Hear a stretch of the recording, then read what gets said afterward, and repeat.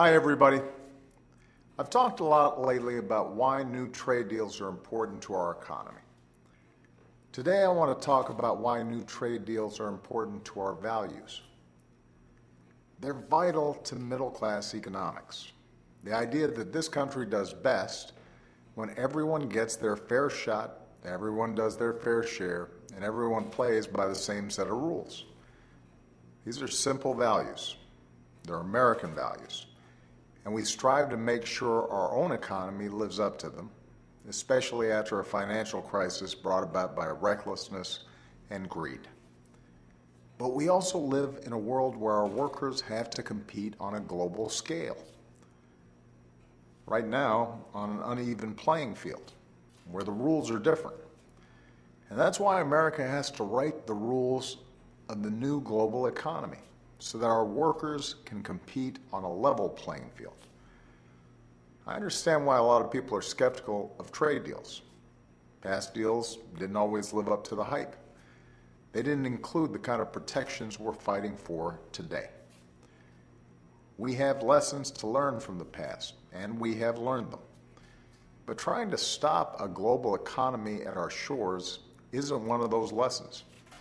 We can't surrender to the future because we are meant to win the future. If America doesn't shape the rules of the global economy today to benefit our workers, while our economy is in a position of new global strength, then China will write those rules.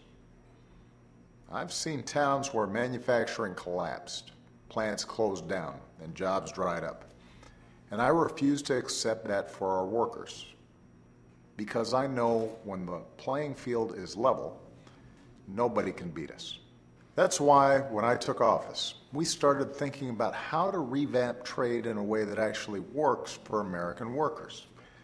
And that's what we've done with a new trade partnership we're negotiating in the Asia Pacific, home to the world's fastest growing markets. It's the highest standard trade agreement in history. It's got strong provisions for workers and the environment. Provisions that, unlike in past agreements, are actually enforceable. If you want in, you have to meet these standards. If you don't, then you're out. Once you're a part of this partnership, if you violate your responsibilities, there are actual consequences.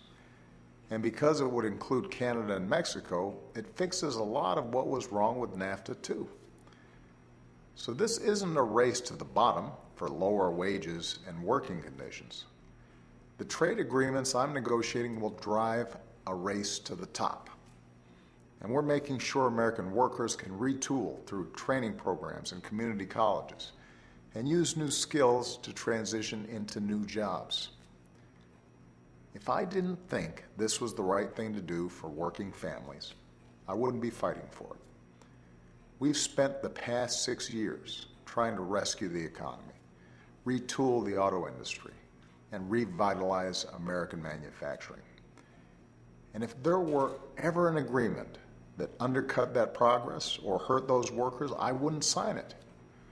My entire presidency is about helping working families recover from recession and rebuild for the future.